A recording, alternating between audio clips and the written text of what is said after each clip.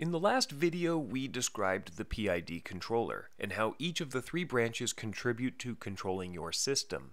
We started with a simple proportional controller and then added an integral to remove the steady state error and then a derivative to increase performance and to keep the system from overshooting. And that seemed simple enough and it appeared to work, in theory at least. But there are a few problems that a PID controller introduces in practice, and in this video we're going to focus on how the integral path in particular can get us into trouble. To start, we need to expand the system we call the plant. The plant can be thought of as two separate systems. The first is the actuator or actuators. These are the devices that are generating the force or energy to change the system. A motor or a heater are example of actuators. The second system is the process, or the thing that the actuator is pushing against or trying to affect in some way. If your actuator is a heater, then the thing you are heating up is the process.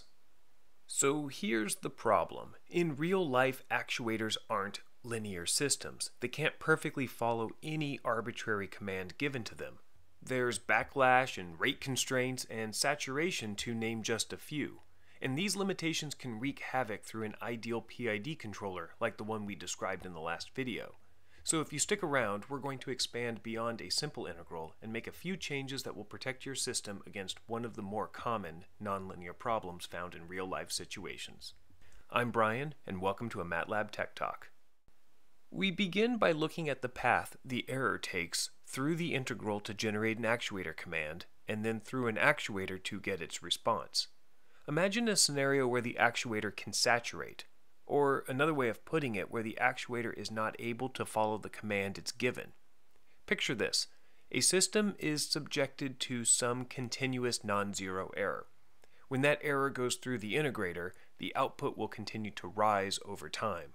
And if our actuator is, say, a motor, then we can think of this value as the commanded RPM. If we command a motor with this ever-increasing request, it will spin up and follow the command at first, but eventually it will hit its maximum RPM and won't go any faster, even if the actuator is being commanded to do so. This is saturation. The motor can't run any faster. And it's not just motors that experience saturation, it's all real actuators. For example, a battery can only supply so much current, and a speaker can only produce a sound so loudly. When you are developing your PID controller, if all you interact with are linear models of your system, you might not think this is a big deal. After all, there is no such thing as saturation in a linear system. Any output value is achievable, so you'll never come across this situation. You want to spin a motor at 100 RPM? 1000? A million? This is possible in a linear system, but real life systems are not linear, and if you only think about how your PID controller will behave in this sense, that can get you into trouble. We can figure out why by asking the question, how does our PID integral handle an actuator that saturates? Assume we have the drone from the last video, and we're trying to control its altitude with a PID control law. The altitude error goes through the three PID branches and then sums together to get a propeller command.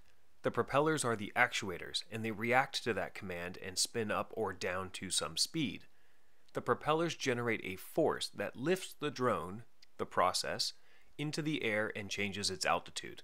Again, for this example, we're going to see what happens only within the integral path. But there's a catch.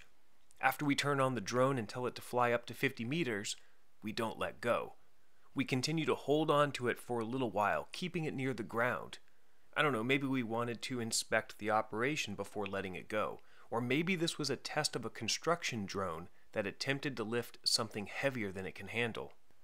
Either way, there is a constant error of 50 meters in the control loop, and this will enter the integral and start adding up, increasing the command to the propellers, telling them to spin faster because the system needs more force to take off. The propellers will keep up with the command, spinning faster to fight against you at first. But you're strong and holding it down, and since the drone isn't rising, the error is still there. Eventually, the integral will request a speed that is faster than the propeller motors are able to spin, and they will stop accelerating. However, the integral, not knowing that the propellers have given up, will continue to increase the command. You might think this isn't much of a problem since the motors themselves are essentially ignoring the command, so it's not like something will break if you command too high a value.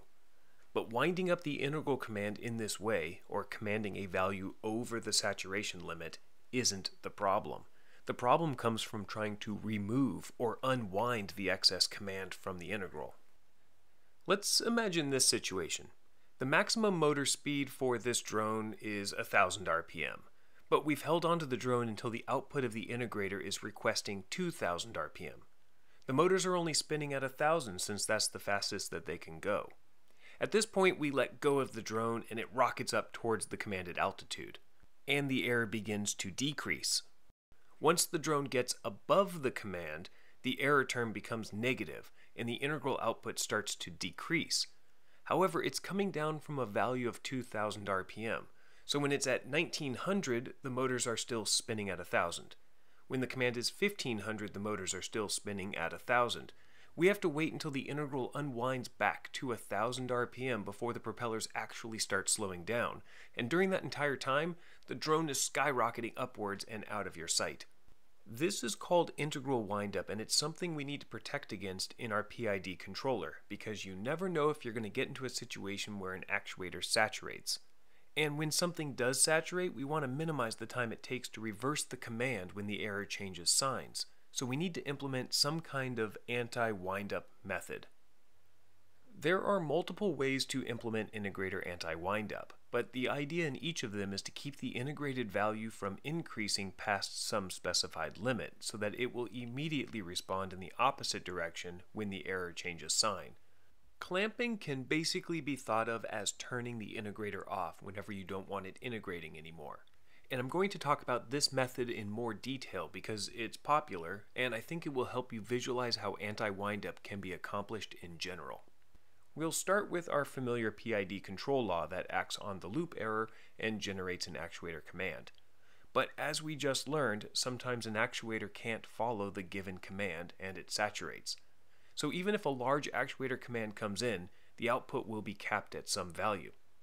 So the first thing we want to do with our PID controller is make sure that it doesn't output a value outside of what the actuator can handle. We can do that by simply limiting the output of the controller with its own saturation check. Now we know the actuator command won't be too high, but we haven't removed the windup problem just yet. The clamping method has two separate checks that it's doing. The first is to compare the output of the PID controller before and after the saturation check. If the values are equal, then no saturation took place and this block outputs a zero. If they're not equal, then we are in saturation and the block outputs a 1.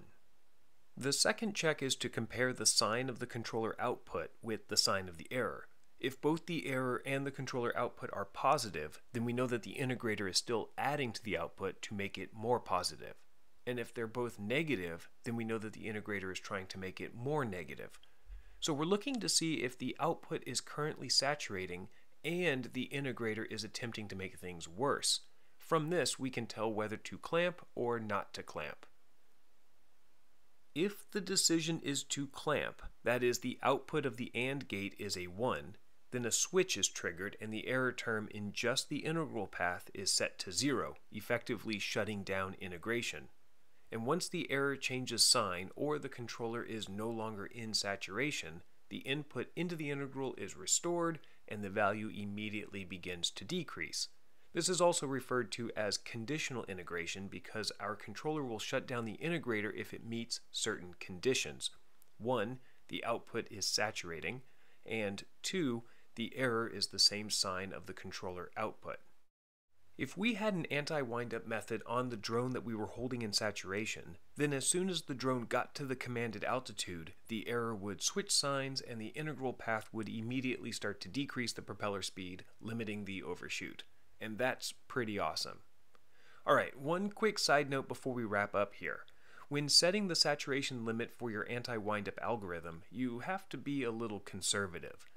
For example, you wouldn't want to set the clamping limit to exactly 1000 RPM because that is way too close to the physical limit of the actuator. If the motor temperature changes, the motors slow down with age, or if the propellers get dented or bent, then that might limit the maximum motor speed to a lower RPM and then our clamping algorithm will still allow some integrator windup. So it's a good idea to set the controller limit to a value lower than the physical limit. How much lower? Well, that depends on how well you know your system and how much you trust your modeling of it.